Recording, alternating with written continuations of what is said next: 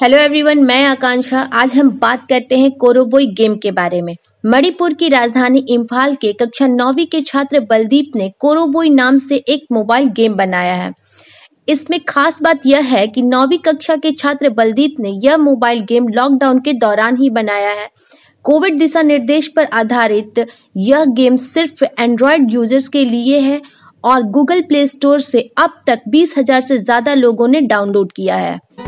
इस गेम में एक लड़का कोरोबोई जो कि कहीं फंस जाता है, उसे उसके लक्ष्य तक पहुँचना होता है। लड़का मणिपुरी पारंपरिक कपड़ा और मास्क पहनकर अपने लक्ष्य की तरफ़ दौड़ता है। इस बीच गेम में फल और सैनिटाइजर मिलते हैं, जिससे ह्यूमैनिटी के पॉइंट्स मिलते हैं। लेकिन पुलिस के पकड़े जाने पर 5000 पॉइंट्स काट लिए जाते हैं।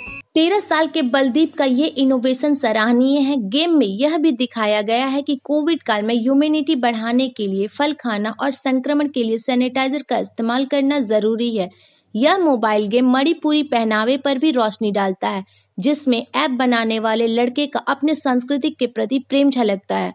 बता दें कि मोबाइल गेम कौरबोई बलदीप का पहला कारनामा नहीं है इससे पहले भी उन्होंने वॉइस रिकॉग्नाइज यानी आवाज़ से कंट्रोल होने वाला एक रोबोट बनाया था, जिसको मणिपुरी और अंग्रेज़ी कमांड की मदद से कंट्रोल किया जा सकता है।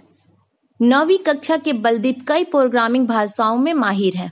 बलदीप का कहना है कि मैं एक एथिकल हैकर और आर्टिफिशियल इंटेलिजेंस और अन्य तकनीकी के बारे में ज़्यादा से ज़्यादा जानना चाहता हूँ।